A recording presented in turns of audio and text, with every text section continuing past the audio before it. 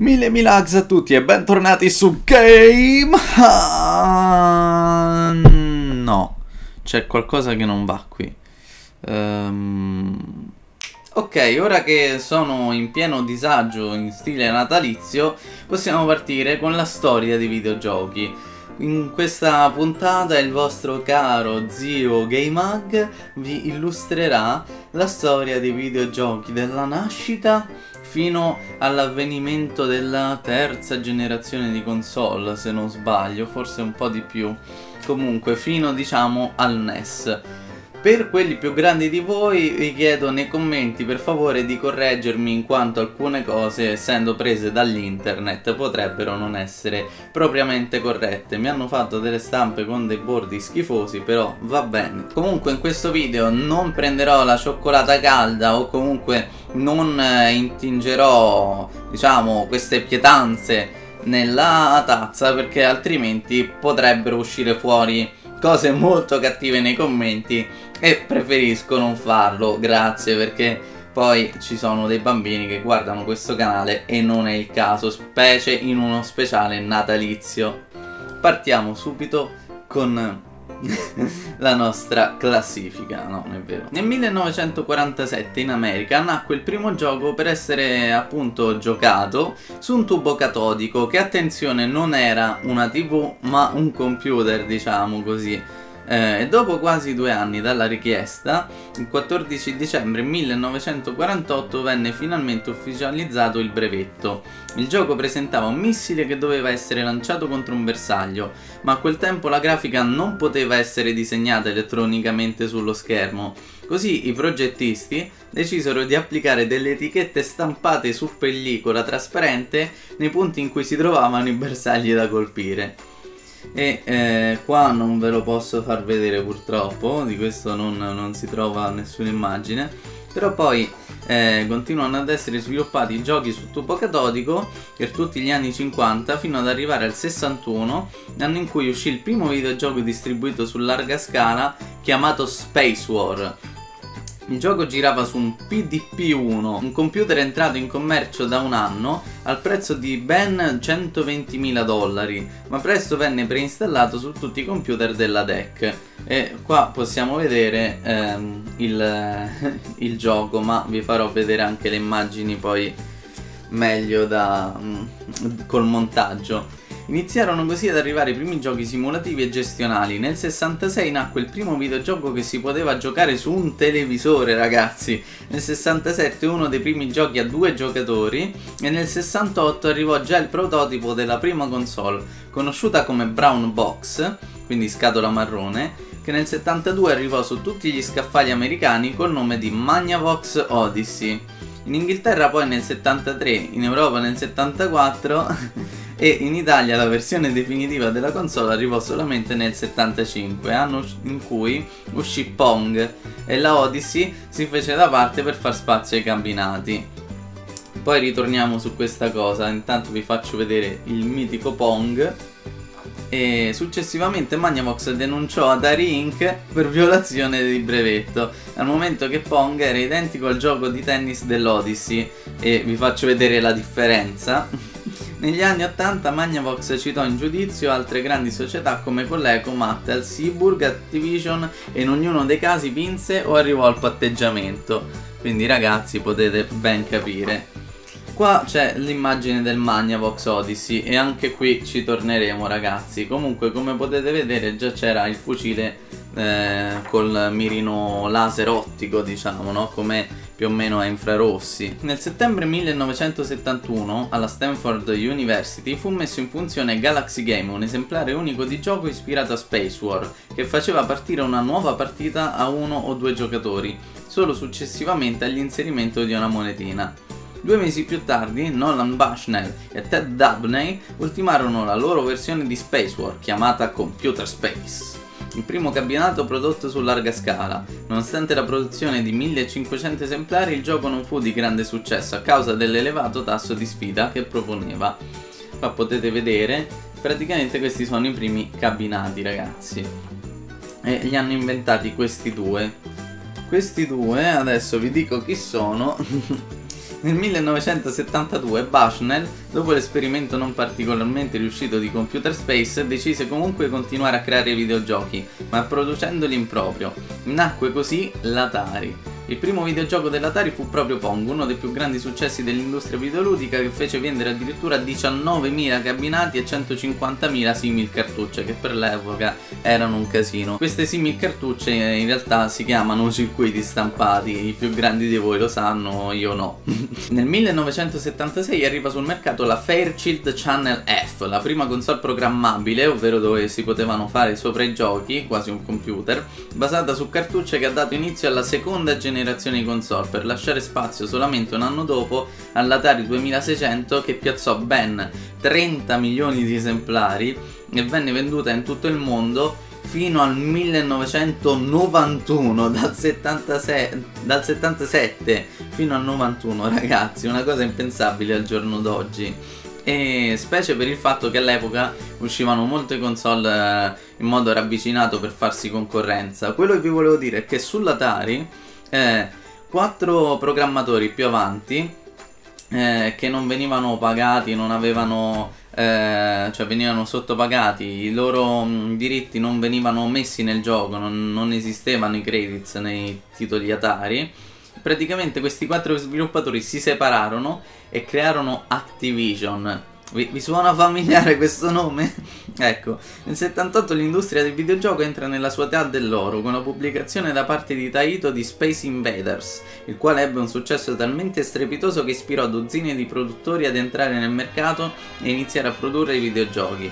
Sempre nel 78 Atari pubblicò Asteroids che diventò presto il suo best seller. L'età dell'oro proseguì fino a metà degli anni 80 grazie alla nascita delle sale giochi e ai nuovi arcade a colori come Pac-Man e Breakout che è il gioco dove bisogna rompere i mattoncini con la pallina che rimbalza sulla nostra racchetta, viene chiamata in gergo così ma la barra bianca.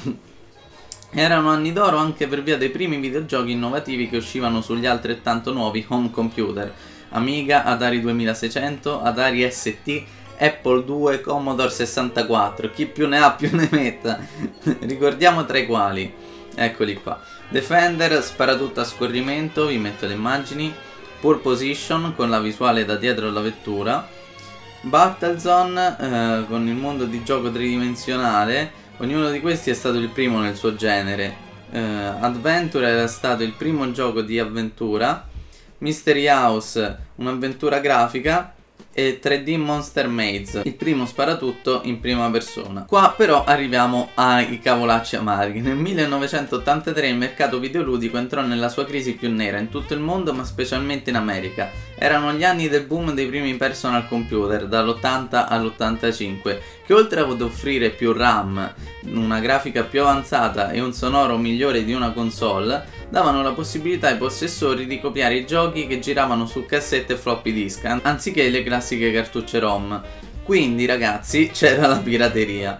Come se questo non bastasse, la Commodore utilizzava una pubblicità comparativa per il suo C64 che si rivolgeva alle famiglie chiedendo il perché del comprare una console ai propri figli, distraendoli dalla scuola, quando avrebbero potuto comprare un computer che li avrebbe preparati al college.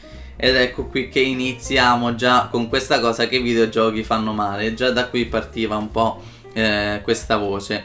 Vi, vi metto le immagini del Commodore 64 qui. Tutti volevano impressionare Wall Street e i consumatori, le aziende ricorrevano al reverse engineering per imparare come fabbricare i giochi, quindi vedevano i giochi già fatti e eh, con dei programmatori che non erano di ambito videoludico provavano a ricrearne degli altri vedendo un po' come era fatto il codice di quelli appunto famosi la Atari impiegò diversi programmatori della Intellivision spingendo la Mattel a fare causa con varie accuse, tra cui quella di spionaggio industriale e nel 1983 le console sul mercato erano almeno 11 ragazzi. Atari 2600, Atari 5200, Belly Astrocade, ColecoVision, Coleco Gemini, Emerson Arcadia 2001, Fairchild Channel F System 2, Magnavox Odyssey 2, Intellivision Ten Division e Vectrex che praticamente già, già solo a nominarle ti, ti senti male Stavano per essere sul mercato inoltre Magnavox Odyssey 3 e Atari 7800 che poi non, mi sa che non sono state lanciate, almeno Magnavox Odyssey 3 mi sembra di no. E ognuna di esse aveva un parco titoli differente e cartucce non compatibili con gli altri sistemi. Quindi tutta questa grande scelta di mercato fece comprare all'utenza subito il PC che molto spesso invece presentava il parco titoli maggiore. Se le copie di un videogioco non venivano vendute, esse dovevano essere ritirate dal produttore che si impegnava a fornire altri titoli in cambio. Praticamente io ti do eh, Call of Duty 1, tu non me lo vendi e io che faccio? Ah, beh, ti do Call of Duty 2 e tu mi ridai l'1, perché altrimenti ti devo ridare i soldi di tutte le copie che non hai venduto, cioè, capito? Bisognava cioè erano i, i produttori di giochi che, che davano i soldi a praticamente a, a chi li vendeva. E questo generò ovviamente un uh, scarso sviluppo dei titoli che dovevano uscire molto presto per non finire in bancarotta le, le, software house. Giochi con cui una console veniva lanciata sul mercato erano generalmente di scarsissima qualità ed erano sempre basati sulla tecnologia già sviluppata per Pac-Man ed E.T., titoli fallimentari dell'Atari 2600 che la casa pubblicizzò molto e per cui produsse milioni di copie che rimasero invendute portando così la casa videoludica sull'orlo della bancarotta. Allora la storia del fallimento di Atari è molto molto strana, è praticamente la storia più complicata sul mondo dei videogiochi a cui ancora non si trova una risposta. C'è anche un documentario che ci hanno fatto sopra, vi metto qualche immagine in sovrimpressione, dove vanno proprio a dissotterrare le cartucce nel deserto di Almogordo, non mi ricordo dove sta, ve lo scrivo sopra, e, e praticamente eh, queste cartucce appunto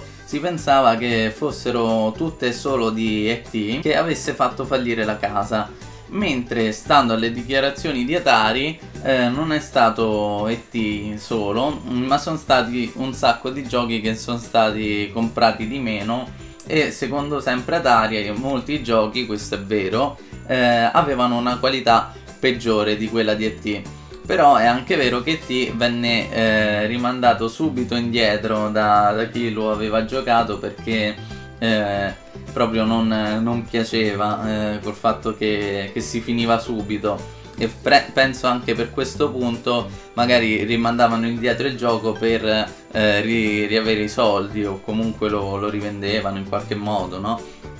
e poi Atari, fra l'altro, su PlayStation 2 pubblicò dei giochi tra cui Asterix e Obelix XXL e XXL2, quindi eh, dei giochi continuarono ad essere prodotti da Atari, ma non so in che modo sia ritornata a fare giochi e poi abbia fallito un'altra volta, perché appunto dopo aver fatto quei, quegli Asterix e Obelix ha fallito di nuovo. Povera Atari, mi dispiace molto. Eh, il prezzo del Commodore 64 comunque calò dai 600 dollari iniziali addirittura ai 200, rendendolo accessibile a tutti e molti videogiochi vennero scontati addirittura fino a 5 dollari, quando normalmente era impossibile trovarne sotto i 35, già era difficile appunto trovarli a quel prezzo. Ciò fece sì che i clienti non acquistassero più giochi se non in offerta e che al lancio i giochi non vendessero più. Tra clienti stufi di giochi di scarsa qualità, sviluppatori sottopagati con diritti non riconosciuti, il Commodore 64 che si diffondeva sempre di più, Activision fu una delle poche case che riuscì a restare in piedi, invadendo completamente il mercato PC con titoli di buona qualità. Il 1983 nonostante tutto fu forse l'anno migliore per la storia degli arcade, il più famoso era indubbiamente Dragon Slayer, il primo videogioco sul laserdisc antenato del CD con scene disegnate a mano e quindi una grafica nettamente migliore che introdusse anche i primi quick time event. E qua potete anche vedere il cabinato, sicuramente avrete visto qualche immagine di questo gioco che però era anche abbastanza frustrante perché se non premevi il pulsante al momento giusto morivi. Qui finalmente arriviamo alla rivincita di Nintendo. Praticamente in Giappone in realtà questa crisi si sentì molto di meno da quel che ho capito e mm, anche, anche, in America comunque iniziarono a spuntare console mi sembra di casa Siga comunque diciamo che la grande rivincita viene attribuita a Nintendo perché eh, appunto mentre in America il mercato era più o meno alla deriva, nel 1983 proprio usciva in Giappone il NES, ovvero il Nintendo Entertainment System, di cui la versione giapponese era questa qui, il Famicom si chiamava Family Computer, mentre il NES era questo qui, che comparato alla prima console, ovvero il Magnavox Odyssey, eh? Notate qualche somiglianza? No, ma dico giusto qualcuna, eh? Brava Nintendo che copi tutto, va bene. Il NES comunque risollevò il mercato videoludico grazie a titoli qualitativamente superiori a quelli proposti dalle console negli ultimi anni, come Super Mario Bros., The Legend of Zelda, Punch Out, Metroid, eh, Ninja Gaiden e Castlevania e grazie al suo innovativo gamepad con il famoso D-pad che praticamente è quello con le crocette. Eh, inoltre Nintendo introdusse il modello lavorativo adottato oggi da tutti nel licenziatare terze parti per lo sviluppo di software, ovvero eh, degli esterni come che ne so eh, Naughty Dog che lavora con Sony, oppure credo comunque che eh, col fatto che il parco titoli su ogni console fosse diverso non ci fossero proprio giochi se non prodotti dalla, dalla stessa casa che, eh, di cui si aveva la console. Quindi ad esempio non avremmo potuto giocare un Call of Duty, un qualunque multipiattaforma appunto non, non esisteva. Una buona pubblicità e il successo di questi grandi titoli portarono il NES nel mercato americano nell'ottobre dell'85. Nell'87 la console era già diffusa in quasi tutto il resto del mondo restando in auge fino al 1995 però mi sembra che in Italia arrivò nell'89 se non sbaglio qua abbiamo un po' di arte nei videogiochi che comunque non fa male e possiamo notare la somiglianza tra la Ellen Page eh, del gioco e quella normale e stessa cosa per William Dafoe del gioco e quello normale poi possiamo notare la somiglianza no, in Until Dawn di Aiden Panettiere, gioco è normale e come al solito gioco è normale di Raimi Malek.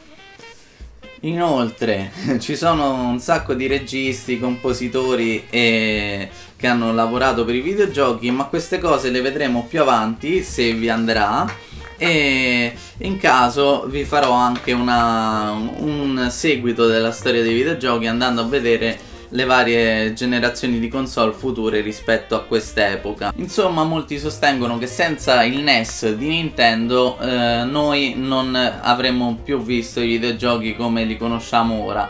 O magari qualche indie sarebbe arrivato, non, non so, non so bene come effettivamente si sarebbero evolute le cose. Comunque questo era il mio regalo di Natale verso di voi, diciamo così. Inoltre se vi va di avere qualche gioco in regalo per questo Natale, eh, vi lascio nella pagina Facebook più o meno ogni giorno dei link con eh, i vari giochi che stanno dando gratis. Per il momento ne stanno dando gratis sia su PC che su Xbox 360, quindi approfittatene se eh, siete comunque possessori di queste console. Vi chiedo come ultima cosa se potete fare voi un regalo a me. Sapete che non vi chiedo mai queste cose, però eh, il like non li chiedo perché, cioè, se vi piace il video è ovvio che lo mettete, se non vi piace non lo mettete o mettete dislike. Questo è ovvio, è da stupidi dire mettetemi like, mettetemi like. Però volevo chiedervi se vi va di inserire questo video nei vostri preferiti o in, uno, in una playlist di speciali natalizi o di storia di videogiochi, videogiochi in genere, cosa che io faccio molto spesso di inserire video nelle playlist. E eh, se volete, per aiutarmi, ovviamente se vi piace il canale quindi se volete vedere un miglioramento della qualità, ma anche magari avere più avanti dei dei contest, dei giveaway, non lo so, che vi regalo qualche gioco, eh, ma parliamo di quando avrò molto più che mille iscritti, quindi eh, semmai ci arriveremo. Comunque se volete aiutarmi ad arrivare più in alto come iscritti Basta semplicemente che condividiate questo video o sulle vostre bacheche dei social network Se non vi vergognate a farlo e non vi insultano O altrimenti mandate come messaggio privato questo video o qualunque altro video eh, dei miei eh, mandate appunto come messaggio privato a qualche vostro amico su Whatsapp, su Messenger, dove volete e gli fate vedere appunto questa piccola creazione se pensate possa essere di suo gradimento. Io vi ringrazio davvero molto con questo cappello da babbano e vi saluto. Vi lascio così, eh, ma vi auguro soprattutto un buon Natale, un buon anno nuovo e comunque in generale buone feste.